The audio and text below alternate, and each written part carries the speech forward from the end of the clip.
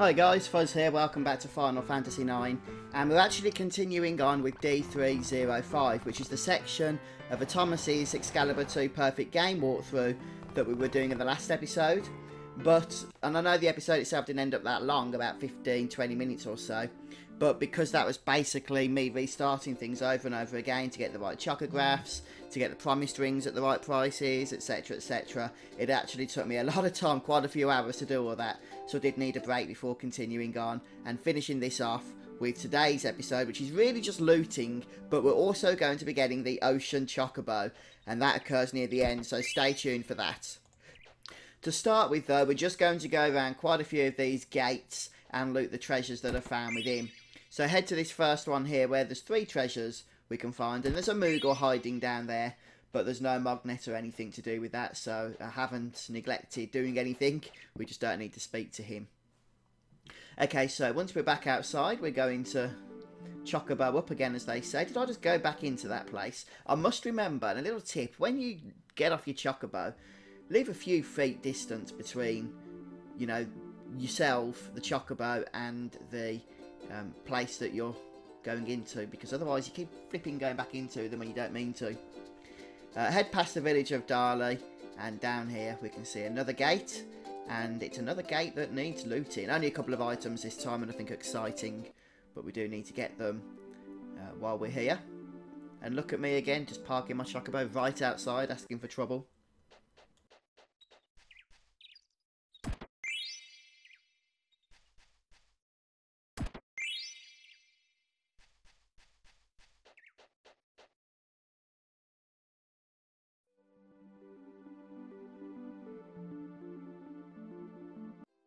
Hey, mounted it okay this time.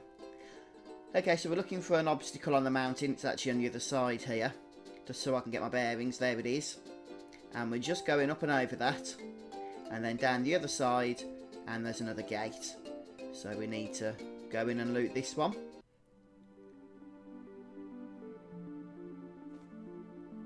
And in fact, you can see the rainbow at this gate. But you can only see this rainbow. It looks very pretty at this particular moment in the game when you've got the blue Narcissus.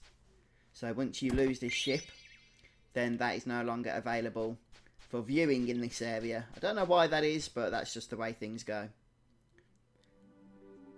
Right, so next up, we're going to head into Gizmaluke's grotto. Look at me going back into the gate. And I thought I'd actually parked relatively far enough away then, but obviously not. Try that again, shall we? Okay, we're going into the grotto, but we're not going in through the main entrance. We're going in through the top entrance since it gives us instant access to the Moogles, which is exactly what we need. So ignore the door.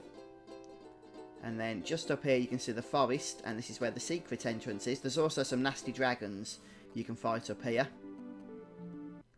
Uh, but obviously we don't want to do that at the moment because we're not levelling up. So go into the grotto, pop down the vine, and you'll get a unique item for handing in your first Kupo nut of the disc. Back outside, I did have to reload at one point, so I will just have to go to the chocograph menu again. Um, you need to set the Forbidden Forest as your chocograph. Now remember, you cannot find chocographs in the world map if you don't have the hint showing on the screen. And just down here and in the centre of this forest is the first chocograph of two that we're collecting today.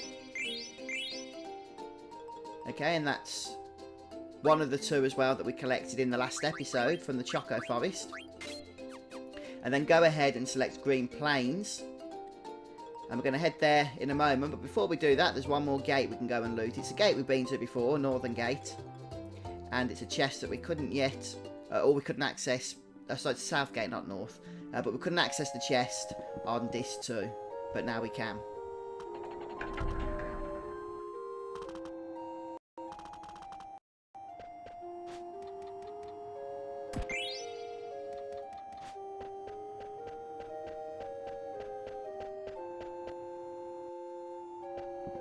That's all we need to do from this place. And now go back onto Choco and make your way over to the Green Plains chocograph. Make sure you've got that selected. And this is the one that's going to upgrade Choco to the Ocean Choco.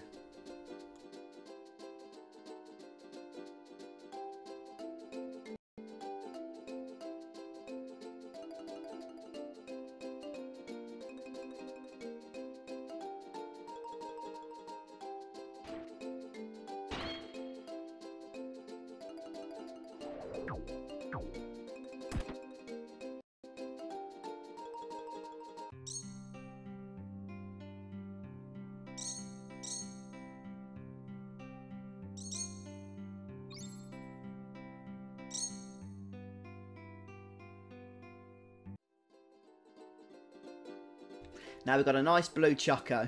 How wonderful. And what we're going to do is head to the northern continent since we're going to be making our way over to the Black Mage village. Obviously this is the way we go to get there. There it is.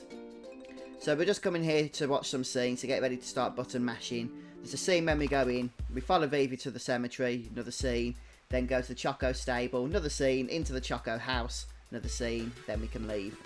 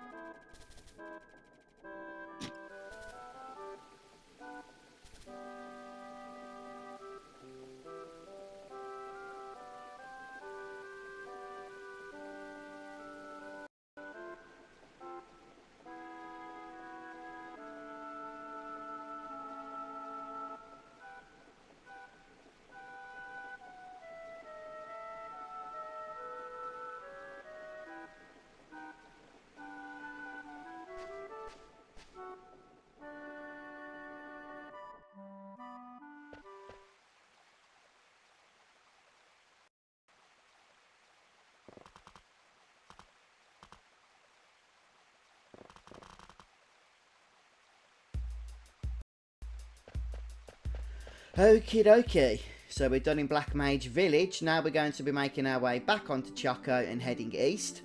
And we're looking for some uh, weird sand thingy-majigs over on the east-hand side. And we're just going to go over there so that we can leave and save at that point.